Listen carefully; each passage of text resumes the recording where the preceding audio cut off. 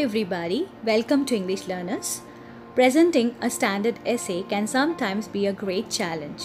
In this video, we shall discuss top 10 tips that one should keep in mind while writing a good essay in any academic field. Number 1. Choose the topic you fully understand. Sometimes a topic may initially seem attractive, but when you try to attempt, you get lost in the options. It is a common situation with many of us, and thus a proper approach is needed while choosing the right topic. Choose something that interests you the most. This will not only inspire you but also give you energy and enthusiasm to complete it successfully. Number 2. Understand the basic theme of the topic. Analyze the chosen topic and try to understand the basic theme of the topic. The content you provide must support the overall theme and should not deviate.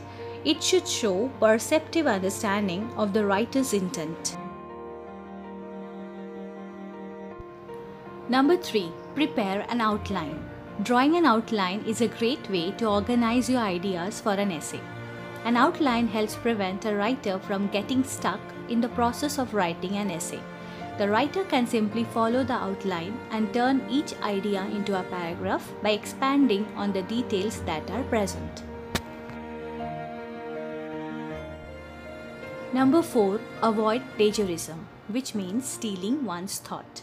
Though referring to previously established thoughts and adding information to an essay is a necessary step, it should be done with caution to avoid plagiarism. It is therefore imperative for a writer to be original while working on an essay. It is best to use quotation marks if you insert a source's words into your writing. Number 5. Write a standard introduction. Start off strong with a solidly written introduction. The purpose of an introduction is to give your reader a clear idea of what your essay will cover. To introduce a particular topic, you should address in a general sense to provide context and then narrow down to a specific idea.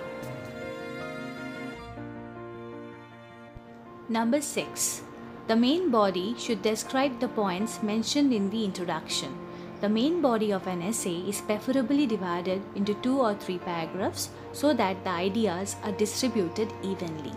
The first sentence of each paragraph should be strong enough to grab the reader's attention. Each paragraph should be interlinked and should not deviate from the main topic. Make sure that the sentences are in logical order.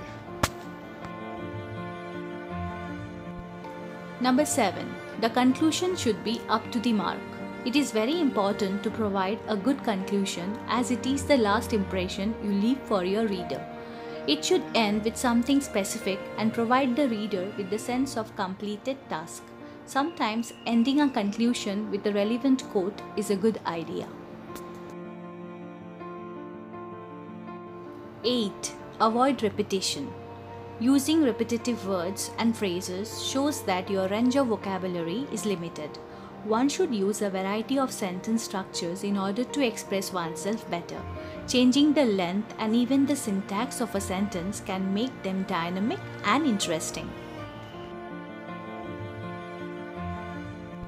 9. Use of clear and concise content. An essay should be well organized in a clear and coherent manner. Using correct vocabulary and grammar brings clarity in the expression.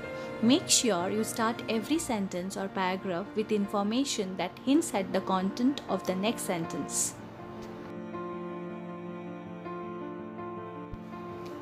10.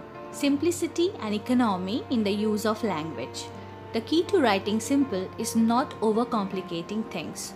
One should avoid every word that serves no purpose and every passive construction that can create confusion. That's all for today. I hope the video was useful. If you like the video, please like, share and comment. Thank you for watching.